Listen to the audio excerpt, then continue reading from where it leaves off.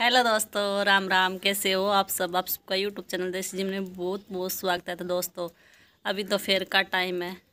बच्चे गए स्कूल में और मेरी सिस्टर गई है खेत में साग लेने के लिए। पति देव जी भी घर में नहीं, देवर जी नहीं है। और मम्मी और मैं दो लोग हैं घर में। तो मम्मी सो रहे हैं, मैं भी बना रही हूँ पकौड़े और गुलूले तो मेरी तैयारी लगभग हो चुकी है, तभी शुरू करते हैं। बना लेते हैं पकौड़े। बच्चे आएँगे, तब तक बन भी जाएँगे। अगर गरम गरम बच्चे खाते हैं तो फिर ठंडा पानी पीते हैं, बीमार होने का डर रहता है। इससे पहले मैं बना लेती हूँ। का शरबत बन चुका है, गुड़ बॉयल हो गया है। और यहाँ आलू मेरे बॉयल हो चुके हैं और ठंडे भी हो गए और यहाँ पे गोभी बॉयल हो रही है अभी। गोभी के पकौड़े मुझे बनाने हैं साथ में। तो दोस्तों, पकौड़ों की सारी तैयारी मेरी हो चुकी है। धुआँ आ रहा है आँखों में। तो सारी तैयारी हो चुकी है। अभी पहले मैं गुलगुलों का आटा लगाऊँगी। उसके बाद पकोड़े बनाऊँगी ब्रेड पकौड़े बनाऊँगी गोभी के पकोड़े बनाऊँगी। तो मैं आपको दिखाती हूँ। तो यहाँ हमारा ऑयल रखा हुआ है, घर की सरसों का ऑयल है और ब्रेड के तीन पैकेट रख दिए मैंने और गोभी मेरी बॉयल हो चुकी है और आलू भी मैंने साफ़ कर लिए है। धनिया भी कट हो चुका है। तो सारी तैयारी हो चुकी है अभी लगते हैं काम पे।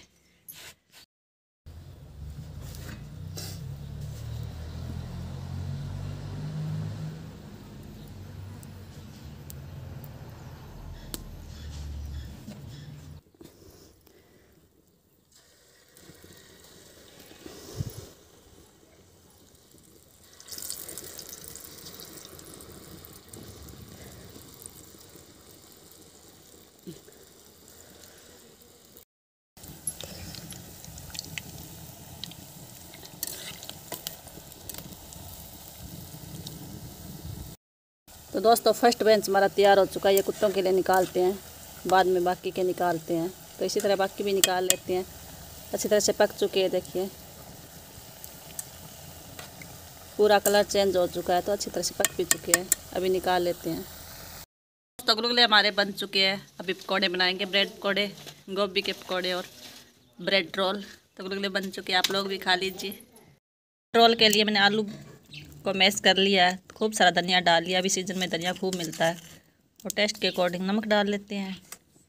और लाल मिर्ची पाउडर थोड़ा सा हल्दी पाउडर कलर के लिए। और जीरा पाउडर धनिया पाउडर और थोड़ा सा साबुत जीरा डालेंगे। तो सारी चीज़ों को अच्छी तरह ब्रेड रोल का मसाला तैयार हो चुका है तो इसकी बॉल बना लेते हैं ब्रेड के अंदर बनने के लिए। बिल्कुल सिंपल मसालों तो ब्रेड रोल का मसाला तैयार हो चुके हैं इसकी बॉल बना लेते हैं। बिल्कुल सिंपल मसालों के साथ बना रहे हैं। बॉल बना लेते हैं। ब्रेड पकौड़े बनाएँगे। आपको खाने हैं? नहीं खाने? तो इस तरह से बॉल बना लेते हैं ब्रेड के अंदर बनने के लिए। तो दोस्तों, ब्रेड रोल बना लेते हैं।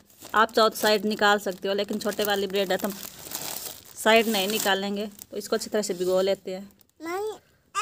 और अच्छी तरह से पानी निक तो अच्छी तरह से पानी निकाल लेते हैं। पूरा पानी निकल चुका है। अभी इसके बीच में एक बॉल रखेंगे और इसको फोल्ड कर देंगे।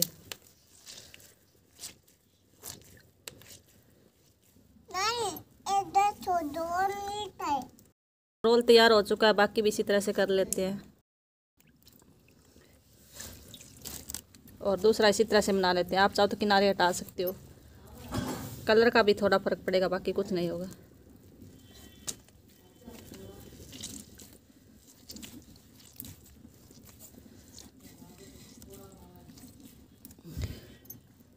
तो इस तरह बाकी तो दोस्तों, इतने हमारे ब्रेड रोल तैयार हो चुके हैं तो इनको फ्राई कर लेते हैं। ऑयल गर्म हो चुका है तो पहले इनको फ्राई कर लेते हैं और बाकी साथ के साथ बना लेते हैं।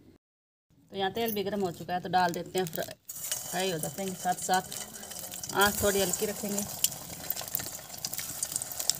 और बाकी के साथ के साथ बना लें।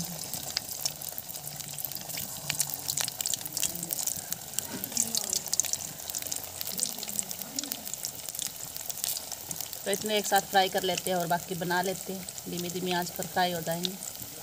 दोस्तों लास्ट वेज फ्राई हो रहा है यहाँ पर। ब्रेड रोल का।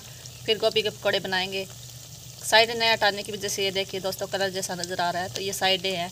अगर आप साइड हटाते हो तो बिल्कुल वाइट वाइट हो जाती है पूरे। लेकिन ब्रेड छोटी थी तो मैंने साइड नहीं हटाई है तो फ्राई हो जाती है, बाद में ब्रेड की, सॉरी, गोभी के पकौड़े बना लेते हैं। तो गोभी के पकौड़े भी फ्राई कर लेते हैं। ऑयल अच्छी तरह से गर्म हो चुका, थोड़ी सी तेज़ हो गई है। तो बिल्कुल क्रिस्पी बनाते हैं।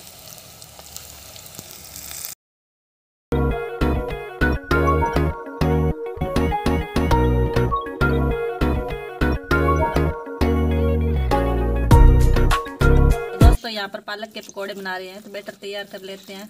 बाकी ब्रेड रोल और गोभी के पकौड़े हमारे बन चुके हैं। तो सबकी पसंद के बन रहे हैं। तो बेटर भी हमारा तैयार हो चुका है अब फ्राई कर लेते हैं।